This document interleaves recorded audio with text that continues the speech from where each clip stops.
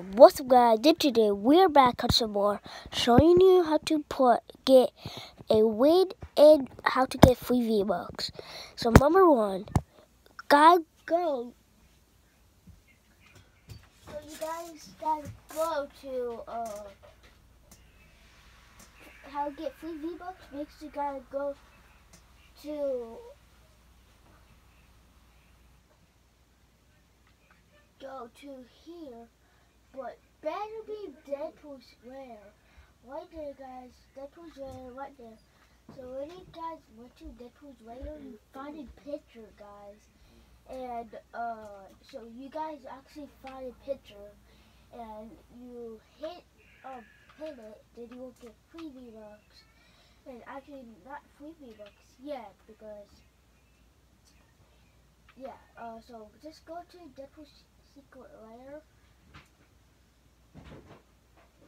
and yeah, so if you guys go to Deadpool's secret lair, make sure you find a picture, break it, and then you get free V-Bucks, but you gotta to actually don't um, find a picture. Make sure you gotta go here, it's secret lair, and you gotta look the, oh, go, go inside, so find that little picture of the um some so you break that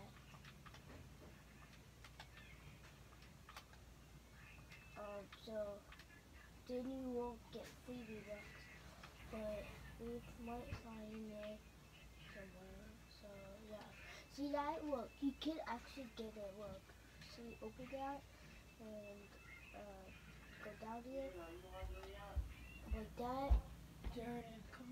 no, yeah. So you get open this chest.